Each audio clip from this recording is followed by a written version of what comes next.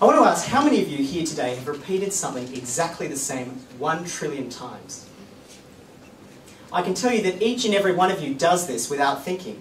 On average, two to three trillion times a day, your body will turn one cell into two through a process called mitosis. Now this process is absolutely critical for human beings to function, for our growth, our memory, our development.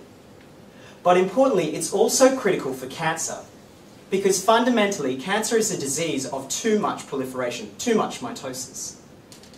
So in order to better understand and treat cancer, we must first understand mitosis.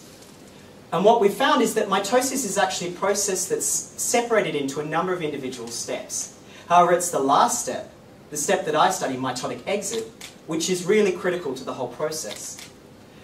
This is the part of the cell cycle that the cell separates a single copy of the DNA into two new cells. And it does this with exquisite precision, which is required for normal cell division. But what happens if your cell carries a mutation just through exposure to the sun, or smoking, or a virus? That mutation too will be copied over into the new cell. And through mitosis, one mutant cell becomes two, two becomes four, four becomes eight, and quite quickly you begin to realize the magnitude of this problem. These mutant cells must be stopped. So to stop them, we've built a wall to division. At the very foundation of this wall is the protein that I study called Great Wall Kinase. My research shows that Great Wall Kinase is a master regulator of mitotic exit. And more than that, its function is to allow normal, happy, healthy cells to continue to proliferate and divide, but actively stops cells carrying mutations from exiting mitosis. This provides them with enough time to correct these mutations.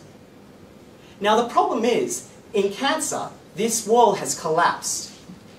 And so in spite of many mutations, cancer cells continue to divide and proliferate. I think this is because cancer has found a way to collapse the Great Wall by removing the foundations, by disrupting Great Wall kinase activity. And so the question I'm asking is how? How does cancer disrupt Great Wall kinase? And more importantly, if we turn Great Wall kinase back on within these cells, will they still continue to divide and proliferate? Answers to these questions will help us to understand why cancer continues to proliferate even in spite of a number of genetic mutations, ultimately with the goal of stopping cancer from crossing the Great Wall to mitosis. Thank you.